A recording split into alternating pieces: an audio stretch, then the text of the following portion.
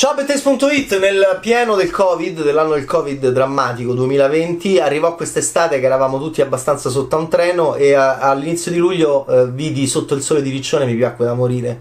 So, ho un ricordo molto bello come spesso è il rapporto con l'audiovisivo in relazione a, alla nostra vita, al nostro tempo, quello fu un film fondamentale perché faceva vedere il mare, gli amori, baciarsi, rincorrersi a Riccione, c'era Enrico Vanzina che si incontrava con nuove generazioni di creativi eh, ed era un film bellissimo.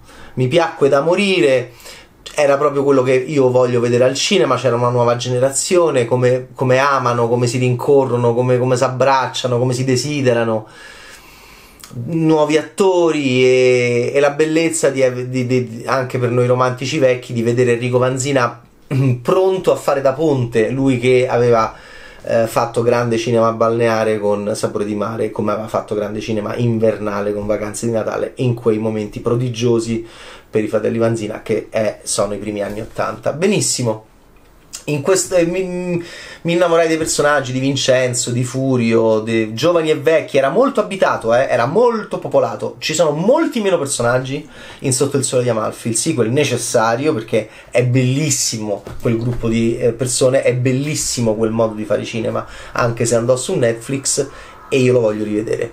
E soprattutto è bellissimo per, eh, rivederlo perché è, è insito in quel tipo di progetto il rivederci, anche perché eh, fino a che il mondo non finirà ci saranno le estati sempre più calde, però eh, sempre più ehm, drammaticamente calde, però ehm, noi possiamo fare un film ogni estate.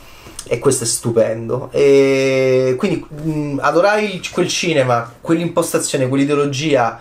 Adesso sotto il sole di Amalfi sono so rimasti due gatti e sono rimasti Vincenzo, il non vedente Zurzolo fantastico. So, è rimasto Furio, l'amico suo Davide Calgaro, stupendo. Un set Rogan italiano lo vedo ovunque. In una boccata d'aria c'ha dei siparietti con Aldo bellissimi. E lo vedo anche in film drammatici. Mi piace molto Davide Calgaro. E, e loro sono gli amiconi. Davide, eh, il non vedente è molto in gamba, avrà esperienze di andare sott'acqua, eh, avrà girerà per le strade di Amalfi, è cresciuto lì, è molto autonomo, è un film importante da questo punto di vista e Zurzolo si porterà questo personaggio dietro nel tempo, assolutamente.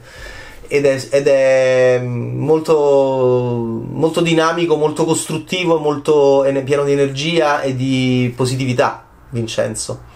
Nonostante smadonni pure perché? Perché vorrebbe andare a vivere con Camilla eh, ha sua mamma che è Irene, eh, che è eh, Isabella Ferrari, che è eh, ovviamente la selvaggia di Sapore di Mare, che è, è, è proprio il, il, corpo simbolo di questo passaggio del tempo. E, e, e sì, litigavano adorabili litigavano, adorabile l'incontro con Luca Ward tra Isabella Ferrari e Luca Ward in sotto il sole di Riccione, litigavano perché lui faceva il bodyguard, non la voleva, non voleva fare entrare, bellissima commedia sentimentale lì.